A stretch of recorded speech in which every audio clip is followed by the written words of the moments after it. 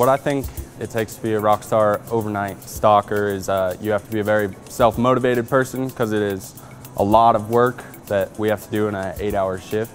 Someone that can keep up a good pace, someone that's going to be on time, someone that's very reliable, honest, hard worker.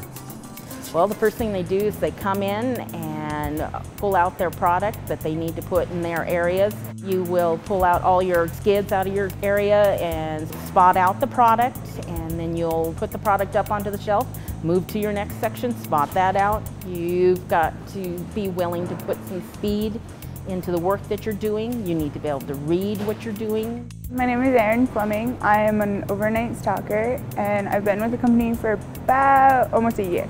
I had really good trainers to train me on what to do, so getting experience from other people help you to get your own groove into doing what you're doing.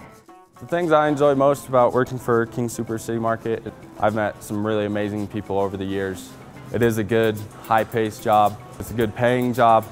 Another big thing I like about King Supers and City Market is a lot of our product is Colorado grown, so not only are we working close to home, we're using the products that are grown in Colorado, so that's a big thing.